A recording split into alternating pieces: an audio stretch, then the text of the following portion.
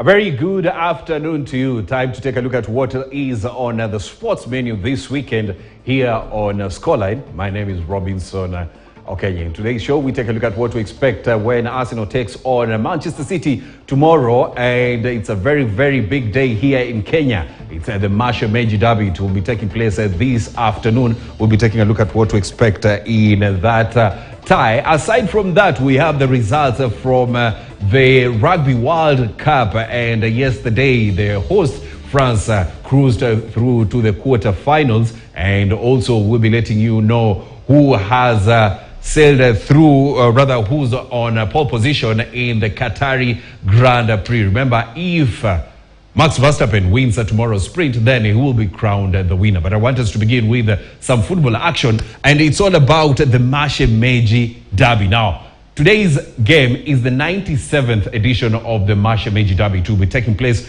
at the Kasarani Stadium from 4 p.m.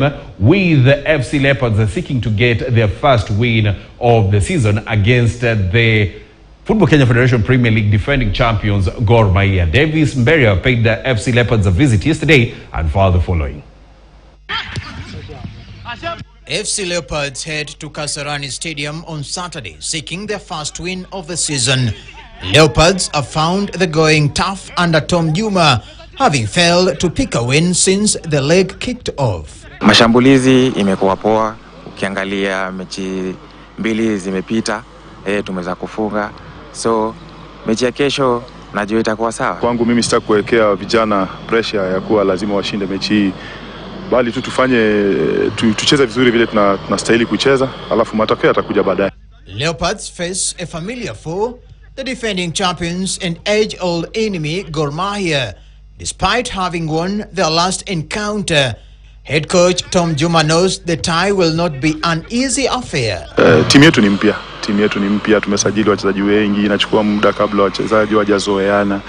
Eh, of course tuko na eh, pressure ya ku deliver results but eh, ni kitu itafanyika, itakuja. Kogalo, who lies second in the league, will rely on the services of the league's top scorer Benson Omala to aid them out. Tumefanya mazoezi vizuri wiki hii na tuko tayari kupambana na wenzetu hapo kesho. We've definitely seen a little bit of progress. We'd like to be tighter at the back. We think we've made one or two little mistakes and we've only kept one clean sheet, so that's something we definitely want to rectify.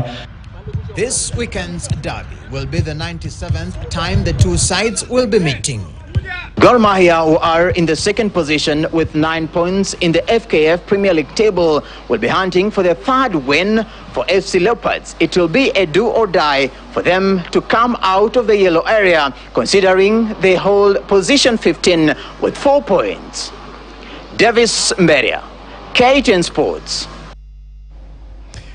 Now we take a look at the results from yesterday, and Vincent Nyabuto scored the only goal of the match as